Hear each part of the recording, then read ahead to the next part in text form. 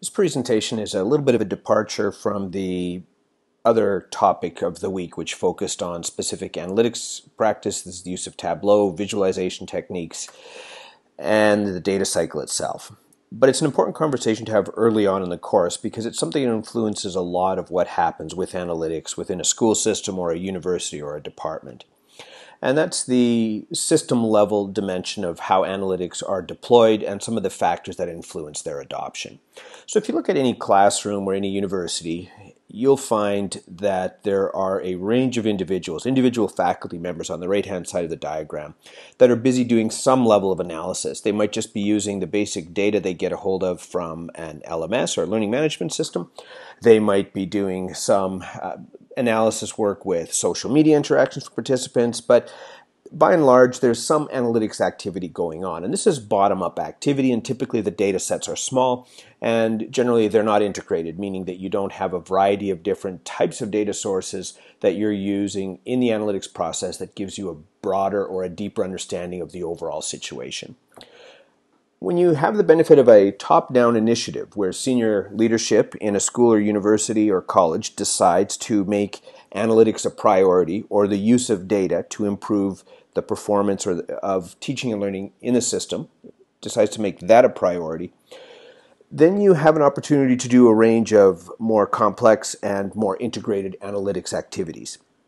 For example, an intervention uh, an automated intervention system that allows for the identification of students who are at risk and then allows the school or the university to automatically target support resources to those individuals.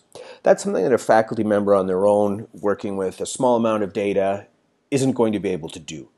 So you really need the integrated institutional level support in order to start to create more structured interventions, and also support services for organizational capacity building with analytics. Now, quite often, the analytics approach in school starts or university starts really at the bottom in this aware category where you're dealing with basic reports and maybe working with some log data.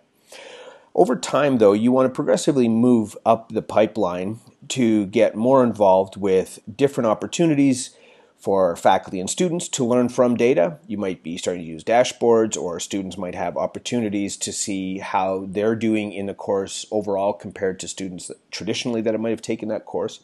Ultimately, though, you want to move to something where it has broader institutional impact, meaning that the university starts to function differently because it's making effective use of data in order to make a positive impact on the performance of students. Theoretically, if you carry that through to the peak aspect where there's actually a systemic transform uh, or sector-wide transformation where you could have university systems, for example, that are better able to compete internationally because they make effective use of data, and that influences how decisions are made and how assessments are essentially produced for the sector as a whole in comparison to their peers. So, what does this look like? Well, from an institutional perspective, a range of issues need to be addressed from strategy to resource allocation, defining tools, building capacity, and then ultimately the systemic change. Now, I'm not going to spend a lot of time on each of these, but I'll just introduce broadly what the ideas are. So, from a strategy end, from institutional analytics, there needs to be a sense of what kind of data are we collecting and what role does that data play. There are also questions around what kind of problems do we want to solve with this analytics project or initiative? And who are the people that are funding it or supporting it or directing it? There's also a range of questions that need to be addressed, particularly around privacy and ethics, and also who gets to see the data that's being generated, and are students aware of what's being collected? So if organizations are starting to use different analytic models to understand learning performance and activity, then it's reasonable expectations for students at minimum to be aware of what's happening and perhaps more appropriately to actually have access to similar data that the stu- that the university has access to. But that's the strategy development stage. That's a lot of uh, policy or related work in making sure that institutionally guidelines are set and are being followed. From there, it's about starting to look at what's required to be an analytics centric university.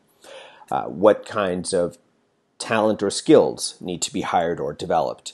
What are the uh, particular data sources you're going to use and the budgets that are allocated, and how are the projects going to be deployed in a way that uh, meets the needs and interests of the broader community and also allows an opportunity for the broader community to provide input into the analytics processes that are being developed by the system. From there, it's about starting to identify what the particular tools are that will be used, whether they're enterprise level tools and the dashboards and related activities that will be used in order to help communicate insight that's generated from the analytics uh, processes. There's a range of concerns, though, around capacity development. While quite often an analytics team, or a data science team, if you will, can function uh, fairly well in terms of solving complex problems, but even the data or the insight that's generated needs to be read or understood or made sense of by someone in an organization. And so it's important that there's institutional capacity development around thinking with data or being able to track and follow the logic of data. And there's value, again, to student understanding as well, letting students know the value of using certain types of analytic outputs to use as part of their self regulation of their learning practices.